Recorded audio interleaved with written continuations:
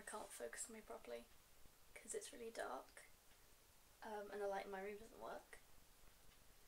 But it's now 9 and I'm setting my alarm clock, which you can't see, for 1.30am because tonight is the uh, super harvest blood moon eclipse which I really want to watch and it starts at 1 and it peaks at 2.30 so I'm going to be up at 1.30 to hopefully watch that and I hope I can see it from my window.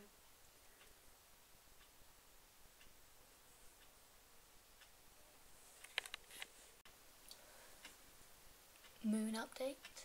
It is coming up on 10 o'clock and the eclipse hasn't started yet but there it is. There's my bird. So now we wait.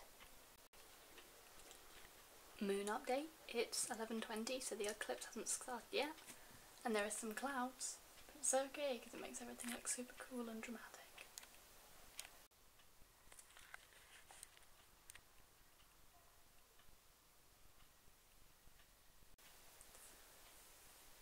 Moon update.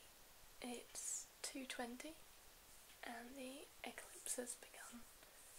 But you can't tell because my camera won't focus on it.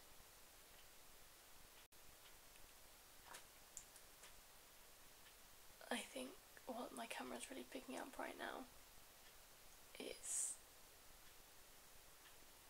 total evidence that I need to wash my windows, so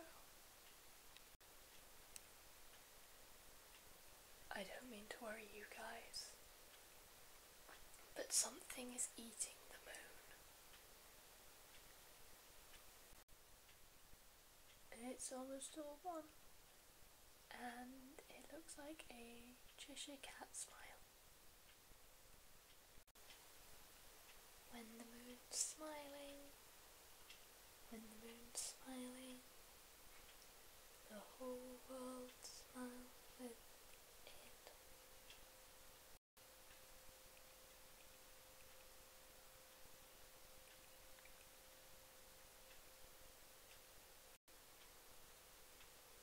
And now turning red. And that's not, you know, ominous.